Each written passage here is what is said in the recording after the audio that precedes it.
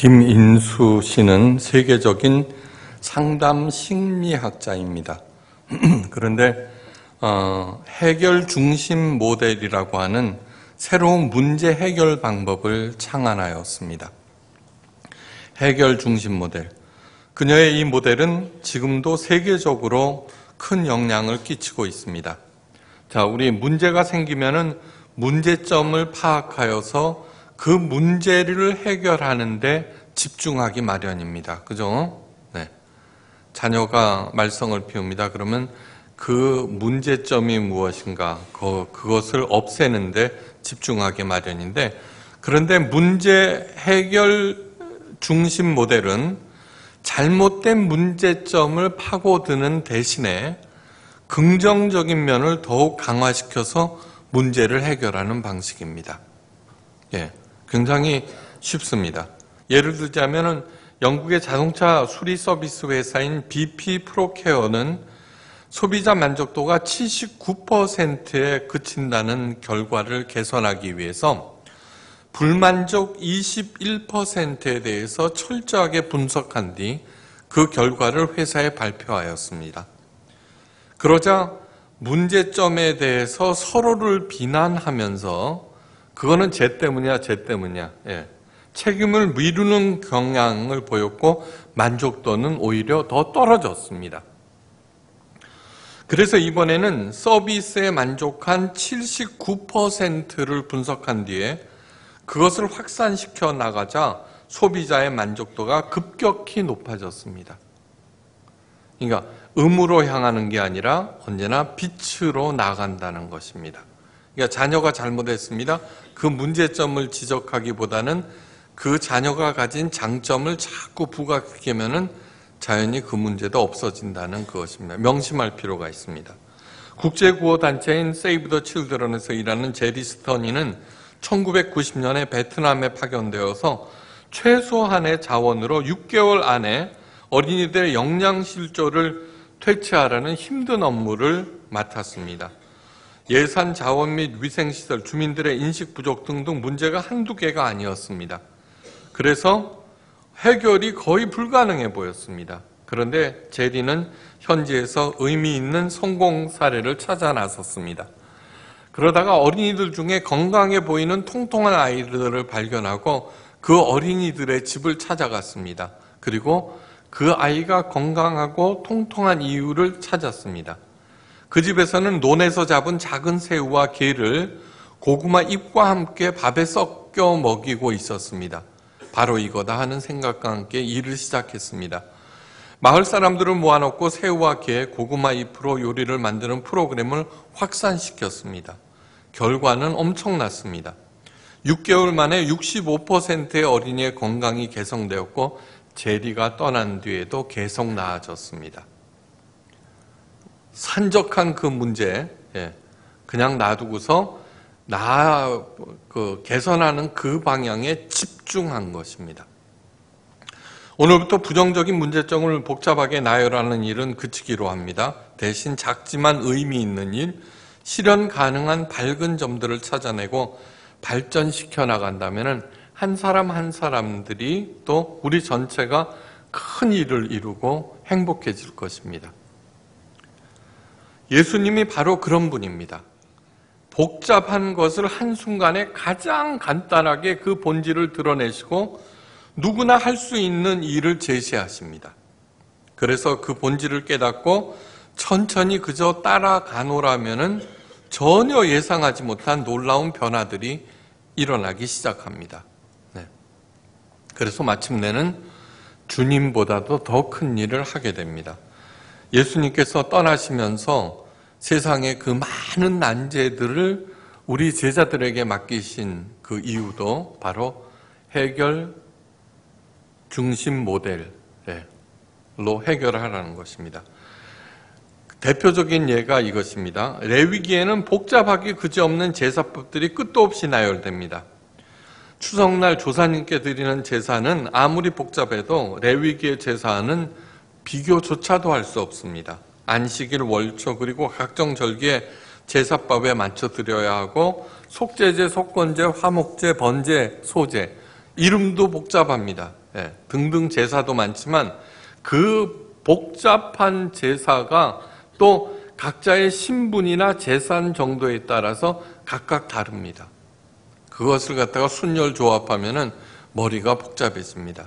그런데 예수님께서는 어, 십자가에서 숨을 거두는 순간 1500년간 행하, 행해졌던 그 제사법 행하지 않으면 큰 질책과 징계를 각오해야 했던 복잡하기 이를 데 없는 레위기의 제사가 일순간에 효력이 정지됩니다. 예. 복잡한 일을 간단하게 만드시는 예수님. 네. 히브리서 기자는 너무나 기뻐서 이렇게 쓰고 있습니다. 예수 그리스도의 몸을 단번에 들이심으로 말미암아 우리가 거룩함을 입었도다. 거룩함뿐만 아니라 자유함까지 얻었습니다.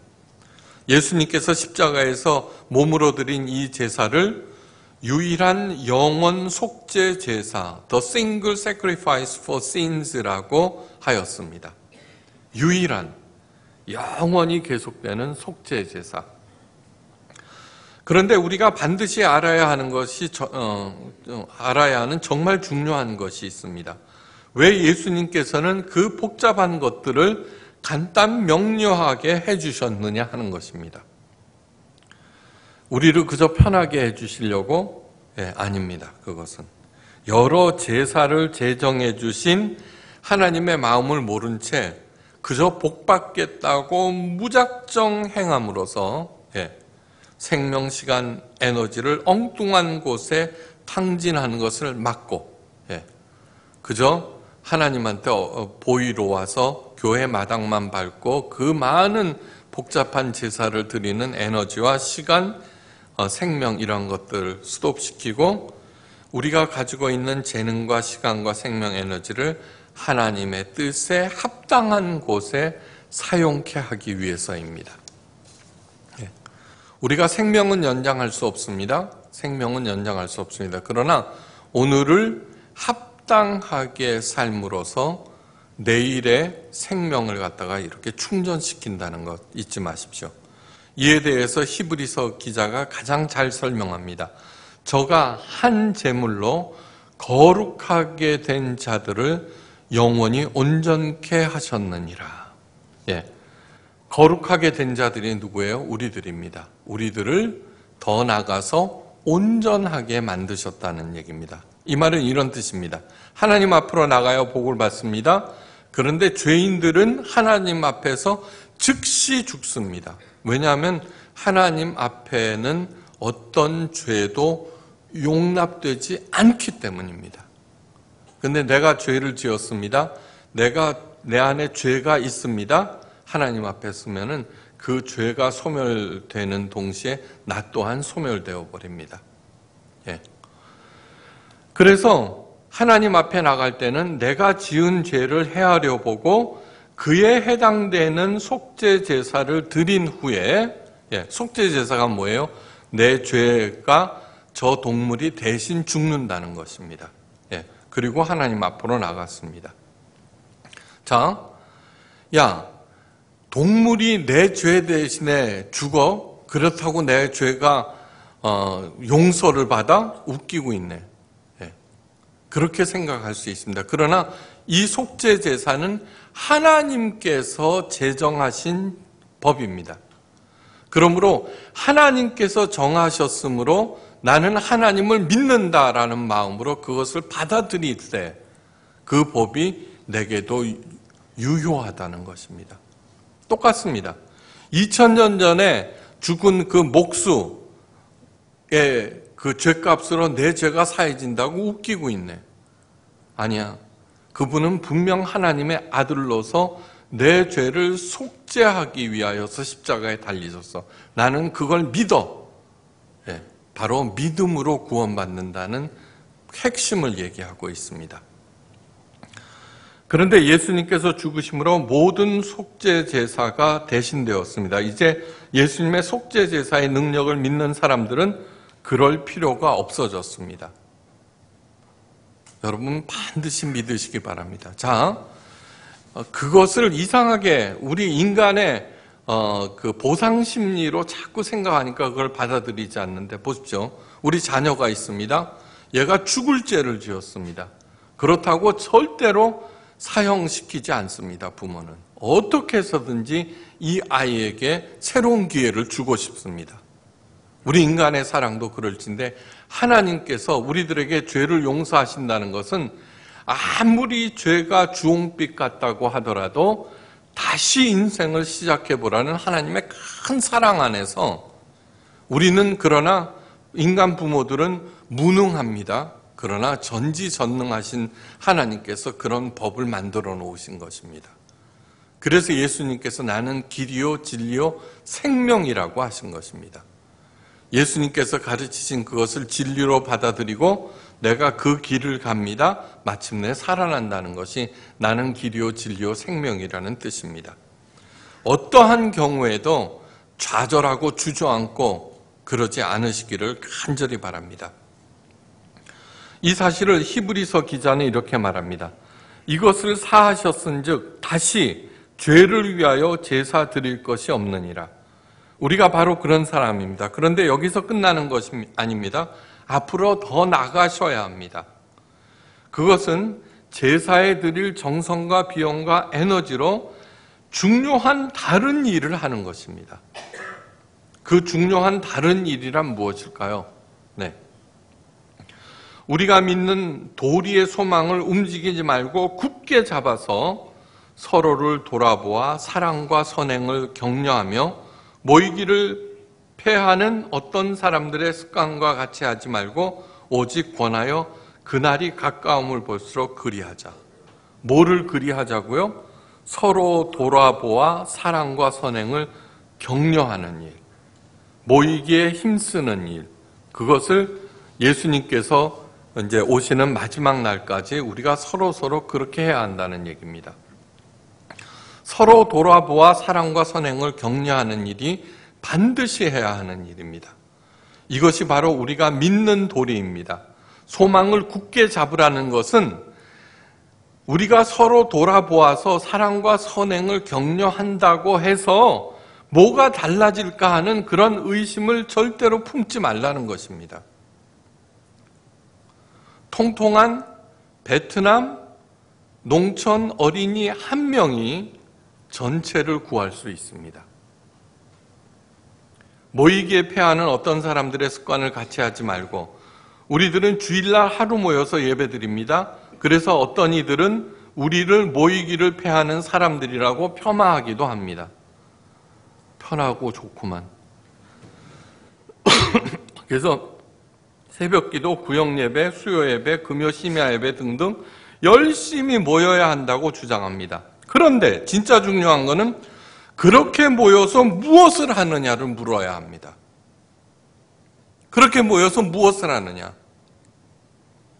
오직 권하여 그날이 가까울수록 더욱 그리하자. 뭘 서로 권하고 더욱 열심히 행하라는 것일까? 그렇게 모여서 계속 예배를 드리라는 것일까요? 네. 예배에 목숨을 걸라.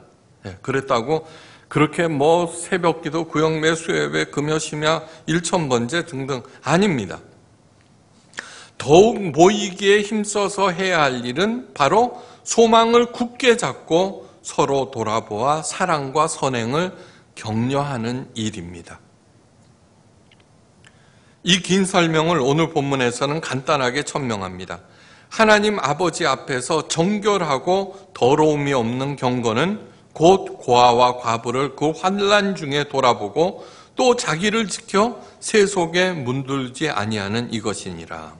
진짜 경건은 무엇이냐 하면은 예, 딱이고 뭐 이렇게 하고 예, 막 이렇게 하고 그런 것이 아니라 첫째 가난한 이웃을 돌보고 둘째 자기 자신을 세속적인 욕심에 물들지 않게 하는 것 그것이 진짜 경건입니다.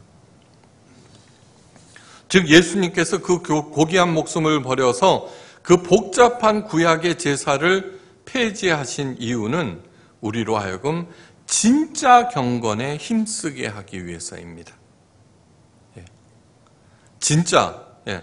우리 살면서 여러 가지 복잡한 문제들이 있죠. 이 도대체 어떻게 해결합니까? 그런데 해결 문제 중심 그것은 무엇이냐 하면은 이웃을 돌아보는 일에 힘쓰고 자신을 욕심으로부터 지키는 일. 예, 그것을 하다 보면은 나를 둘러싸고 있던 그 복잡한 문제들이 하나하나씩 뒤로 꼬리를 내리고 물러난다는 얘기입니다. 제가 한 얘기가 아닙니다. 하나님께서 하신 말씀입니다. 하나님은 김인수 씨보다도 훨씬 더 똑똑합니다. 그렇다면 각자 경건은 무엇일까? 가짜 경건. 26절에 기록되어 있습니다. 누구든지 스스로 경건하다 생각하며 자기 혀를 제갈 먹이지 아니하고 자기 마음을 속이면 이 사람의 경건은 헛것이니라. 여기서 주목해야 하는 구절은 무엇이냐 하면은 자기 혀를 제갈 먹이지 아니하고입니다. 이 말은 말조심하라는 뜻으로 해석되는데 아닙니다. 아닙니다. 경건에 해당되는 헬라어는 드레스 코스인데 이 말은 드레오마이에서 유래하였습니다. 이 드레오마이는 무슨 말이냐 하면은 기도문을 중얼거리다입니다. 기도문을 중얼거리다. 여기에는 비아냥거림이 내포되어 있습니다. 예수님께서도 이에 대해서 말씀하셨습니다. 또 기도할 때 이방인 같이 중언부언하지 말라. 저희는 말을 많이 하여야 들으실 줄 생각하느니라. 중언부언. 네. 어떤 목사님이 교회에 부임하였습니다. 그러면서 첫 설교가 뭐냐 하면은 하루에 7시간씩 기도해갖고 복 받은 사람 얘기하면서 우리도 이제 하루에 7시간씩 기도합니다. 그렇게 하십시오. 7시간 동안 할 기도가 뭐 있습니까? 예, 그리고 기도 소위 많이 했다는 사람들 어, 대표 기도나 이렇게 시키면 주여 하나님, 주여 하나님, 아버지 아버지 그 계속 반복하죠, 그죠? 그거 들으셨죠? 기도는 설교만큼 중요한 것입니다. 여기에 올라오실 때에는 반드시 기도하면서 기도문을 작성하셔야 합니다. 중요한 얘기입니다. 수많은 사람들이 그 기도를 대표해서 하고 있는데 그거를 그냥 머리에서 생각나는 대로 하겠다? 말도 안 되는 얘기입니다. 그렇게 중언부언하는 것을 말합니다. 자, 주문. 기도는 주문이 아닙니다. 기독교에서의 기도는 뭐냐 그러면 하나님과의 대화입니다. 예. 주문은 뭐냐 그러면 그 주문 자체에 파워가 있어서 그것을 많이 하면 할수록 그 파워가 커진다고 생각합니다. 그래서 중언부언하는 것입니다. 남묘호랑갱교. 남묘호랑갱교는 뭐냐 그러면 남묘호랑갱교를 100만 번을 하면은 모든 소원이 이루어진다고 가르칩니다. 그 교리 딱 하나입니다. 중언부언하지 말라라고 하는 것은 저희가 말을 많이 하여야 들으실 줄 생각하느니라. 하루에 일곱 시간씩 기도합니다. 그래서 복 받으십시오라고 하는 것은 기도를 주문으로 착각했기 때문입니다. 여러분 급합니까? 예, 어떤 것이라도 하나님과 상의하십시오. 물어보십시오. 알으십시오. 예. 그러니까 자기 혀를 제갈 먹이지 아니한다는 것은 주문을 외우듯이 뜻도 모른 채 중언부언 하는 것을 말합니다. 그러면서도 속은 시커멓습니다. 뭘로? 욕심으로. 바리새인들을 생각하면 쉽게 상상이 됩니다. 예수님께서도 바리새인들을 향하여서 돈을 좋아하는 자로서 잔과 대접의 겉은 깨끗이 하되 그 안에는 탐욕과 방탕으로 가득하도다고 책망하셨습니다. 곧 자기 마음을 속이는 것입니다. 이러한 헛된 경고는 한마디로 열심히 해봤자 아무런 득이 없다는 것입니다. 이사야서에서는 오히려 하나님께서는 이러한 것을 가증히 여긴다고 하셨습니다. 가증히 여기는 건 뭐예요? 안 하는 게훨 낫다는 얘기입니다. 진짜 경건은 구체적으로 어떤 것일까? 첫째로 해야 할 일은 능히 너희 영혼을 구원한 바 마음에 심긴 도를 온유함으로 받으라라고 말합니다. 예수님의 가르침을 온유함으로 받으라. 여기서 키워드는 온유함입니다. 온유함은 그저 순하고 착한 마음을 가리키는 것이 아닙니다. 그런 것이 아니라 온유에 해당되는 히브리어 아나우는 나의 뜻을 하나님의 뜻에 복종시킨다는 것입니다. 내 뜻이 있습니다. 내 주장이 있습니다. 내 욕심이 있습니다. 예수님의 가르침을 온유함으로 받는다는 것은 예수님의 가르침 상위에 두고 내 걸 없앤다는 얘기입니다. 예. 내 뜻을 버리고 예수님의 존재와 그분의 가르침으로 바꾸는 것, 즉 예수님처럼 생각하고 예수님처럼 행동하는 것을 말합니다. 그저 예수님의 말씀을 듣기만 하는 것을 거울을 보는 것으로 본문에서 비유하고 있습니다. 당시 부자는 청동 거울로 보았고 보통 사람들은 꼭 봐야 한다면은 대야에 물을 떠놓고 자기 모습을 보았습니다. 요즘 거울과는 달리 정확한 모습을 볼 수 없으므로 대충대충 봅니다. 그래서 쉽게 잊어버리게 마련입니다. 그러므로 예수님의 가르침을 행하여서 습관처럼 내 몸처럼 만들어야 함을 강조하는 것입니다. 온유함으로 예수님의 가르침을 받았으면 열심히 행하셔야 됩니다. 야고보 사도가 말합니다. 자유하게 하는 온전한 율법을 들여다보고 있는 자는 듣고 잊어버리는 자가 아니요 실행하는 자니 이 사람이 그 행하는 일에 복을 받으리라. 자유하게 하는 온전한 율법이란 표현은 많은 비판을 받았습니다. 우리를 자유케 하는 것은 예수님의 복음이지 율법이 아니기 때문입니다. 특히 오직 믿음만으로 구원을 받는다고 종교개혁의 기치를 높이 들었던 마르틴 루터. 이 구절을 보고서 야고보서를 지푸라기 서신이라고 폄하합니다. 그러면서 신약 성경에서 빼야 한다고 강력하게 주장하였습니다. 그런데 사도 야고보가 누구예요? 예수님의 실제 동생입니다. 예수님의 실제 동생. 네. 실제 동생이면서 그 자기 형을 주라고 부릅니다. 메시아라고 부릅니다. 보통 사람들이 갖고 있는 것보다 훨씬 더 강한 뜻을 갖고 있다는 얘기입니다. 야고보 사도, 어, 뭐, 야고보 사도가 말하는 바는 행위로 구원받는다는 것이 절대로 아닙니다. 원래 모든 인간은 하나님의 자녀들입니다. 그런데 인간의 영이 죽어서 영이신 하나님과 교통하지를 못합니다. 그래서 하나님 아버지가 누구인지 모릅니다. 예수님께서는 우리의 죽은 영을 살리기 위해서 이 땅에 오셨고 그분의 가르침을 듣고 그분을 믿음으로 우리의 죽은 영이 다시 살아납니다. 그래서 여호와 하나님이 나의 아버지임을 알게 되고 우리들은 하나님의 자녀인 것을 알게 됩니다.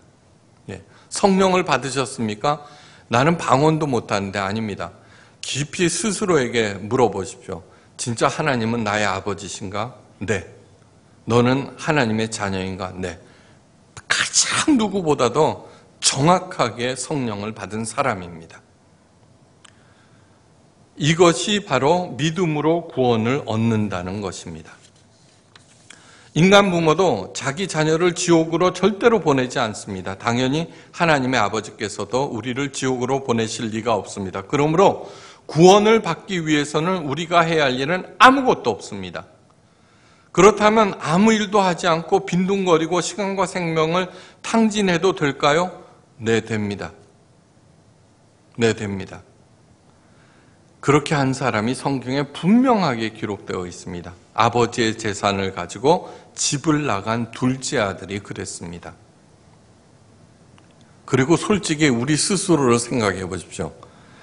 시간, 생명, 재능 내가 만들었습니까? 아니요. 그런데 우리들은 진짜 아버지의 뜻에 따라서 100% 온전하게 사용하십니까? 아니요. 그러면서 뭐, 네, 아무 일도 하지 않고 빈둥거리고 시간과 생명을 탕진해도 됩니까? 예, 됩니다. 자, 그 다음 들어보십시오. 그런데 큰 문제가 있습니다. 우리 인간들은 어리석고 연약하고 사악하고 유한한 존재이므로 그렇게 매일 빈둥거리고 산다면 반드시 악한 영의 미혹에 빠지게 마련이고 자신이 하나님의 자녀인 것을 반드시 잊어버리게 마련이고요. 되는 일이 없으니까. 그러면은 제 길로 타락으로 파멸로 지옥으로 가게 됩니다. 예, 하나님께서 우리를 지옥으로 보내지 않습니다. 그러나 제 길로 갑니다. 여기에서 예외란 없습니다. 시간과 생명과 재산까지 탕진한 아들이 그 사실을 깨달았습니다. 예. 재산이 다 떨어지자 예. 그 돼지 옆에서 주엽나무 열매를 먹으면서 내가 아버지의 것을 모두 다 탕진하고 있구나. 그리고 집으로 돌아갑니다. 그런데 아버지로부터 무서운 벌을 받을 줄 알았는데 그게 아니었습니다. 눈이 빠지게 아들을 기다리던 아버지가 한 걸음에 달려와서 돌아온 아들을 덥석 안고 덩실덩실 춤을 추면서 온 마을에 큰 잔치를 베풉니다. 자, 그리고 나서 아버지가 받아줬다고 해서 또 빈둥댑니까? 그렇다고 아버지는 내쫓지는 않습니다. 하지만 아버지의 실망과 걱정은 이만저만 아닐 것입니다. 속이 타들어가죠. 네. 부모의 찬란한 영광도 자녀의 네. 그 추락에 아무런 의미가 다 없어집니다. 그만큼 자녀가 중요합니다. 돌아온 아들이 해야 하는 일이 딱 하나 있습니다. 딱 하나. 뭘까요? 아버지의 자녀답게 사는 일입니다. 아버지의 자녀답게 사는 일. 아버지의 뜻을 헤아리며 기쁘게 열심히 그 뜻을 행합니다. 그 자녀를 보시는 아버지가 정말로 흐뭇합니다. 자식 철들었구나. 네. 더 잘하라고 좋은 아이디어도 주십니다. 영감입니다. 필요하면 뭐든지 내주십니다. 기회와 재능과 사랑과 자원들 무제한 리필해 주십니다. 네. 괜히 만 원 내고서 돼지갈비 무한 리필 받지 마시고 이 무한 리필을 받으십시오. 네. 자, 저놈이 내 뜻대로 살려고 하는구나. 뭐라고 그랬습니까? 두 가지. 가난한 사람을 예, 돌보는 일. 두 번째는 뭐예요? 자기를 욕심에 방치하는 일.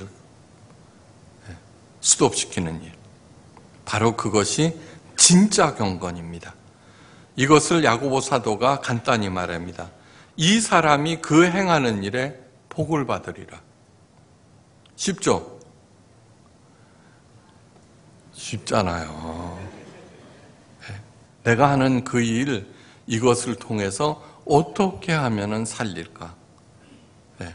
제가 아이템 두 개 갖고 있다 그랬죠? 여러분들을 살릴 아이템이에요. 언제나 하나님께서 그 영감을 주셨어요. 야고보 사도는 아버지의 뜻이 무엇인지 간단히 밝히고 있죠. 예. 곧 고아와 과부를 환란 중에 돌아보고 또 자기를 지켜 새 속에 물들지 아니하는 이것이라. 이것이 복 받는 비결 중에 최고의 비결입니다. 최고의 비결. 예수님 하나님께서 분명하게 약속하십니다. 구제를 좋아하는 자는 풍족하여질 것이요 남을 윤택하게 하는 자는 자기도 윤택하여지리라. 잠언 11장 25절 말씀입니다. 늘 남을 살리려는 마음으로 생활하시고 예, 그리고 백배의 결실을 맺어서 끝도 없이 베풀고도 남음이 있기를 주의 이름으로 축원합니다. 기도하십니다. 복잡한 문제, 이 산적한 문제를 어떻게 해결할 수 있을까? 세상을 만드신 하나님의 아들 예수님께서 해결 중심 모델을 제시하십니다. 언제 어디서나 가진 것 없지만 어떻게 하면 이웃을 살릴까 하는 마음으로 살게 하옵소서. 내게 맡겨진 그 일을 죽게 하듯 성실하게 행하게 하시고 예, 나를 욕심에 내어두는 일 절대 없게 하옵소서. 그리하여서 내가 행하는 일 큰 복을 받는 생명의 일 되게 하옵소서. 감사드리며 모든 말씀 예수 그리스도의 이름으로 간절히 기도하옵나이다. 아멘.